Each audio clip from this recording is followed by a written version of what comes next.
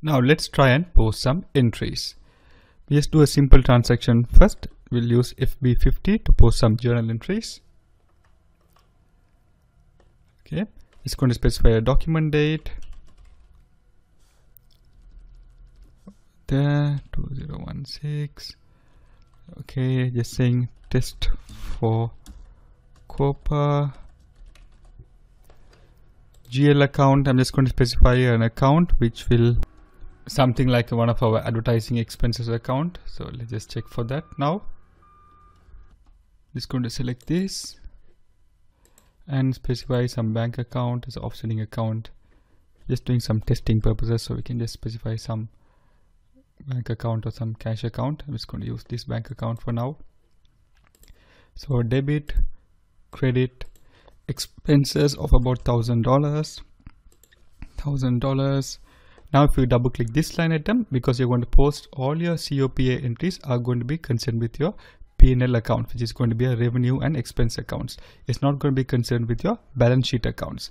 So all COPA entries should apply to the expense or revenue accounts. So in this case, it's our advertising expense accounts. I'm just going to double click that.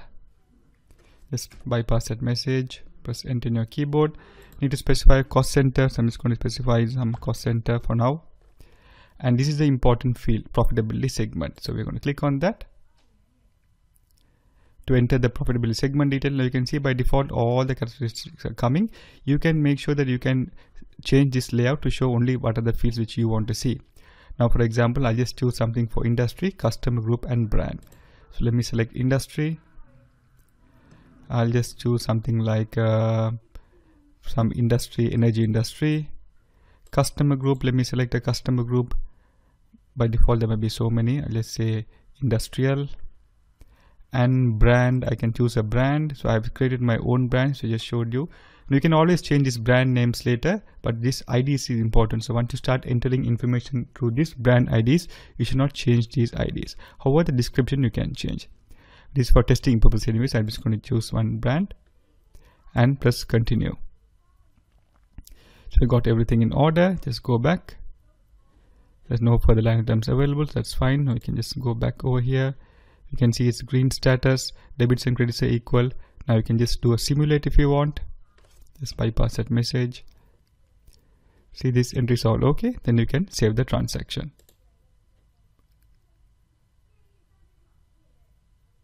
So now you're getting a message saying document 1009 was posted in company code Z123 now let's go and check this document just going to go to document display. Going to bring up the document you can see. This is my advertising expenses this is my ANZ bank information profit center and all these information are over here. Now I'm just going to double click on this. And I should be getting profit segment. And here what I've entered is coming up over here.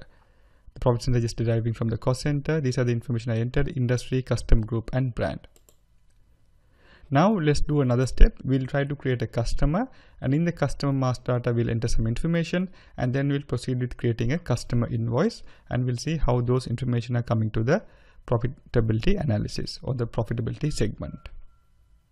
So to create customer, you can go to FD01, which is at the company code level and general master data general level. Then I'm just going to enter the company code. I'm just going to use a reference customer which I've already created and put the company code over there press OK to continue. So I can give a customer name. I'm just going to say company. I'm just going to say Pegasus Limited. Just some name over there. Search term. I'm just going to give this general information. Now here the street address information is important to enter because this will get picked up for our profitability analysis later details. So I'm just going to say 100 King Street. Okay, this is the street num. So I'm just going to say King Street, street number 11, postal code. I'm just going to say 3000, city Melbourne, and region is Victoria. And of course, when you see the drop down menu, you can see all the regions available for each country. So when you specify the country, then you get the information coming in here. VIC is the correct region code. I'm just going to skip this postal box address. I can skip the telecommunication details. So important, you enter the this street address information if you want to see profitability and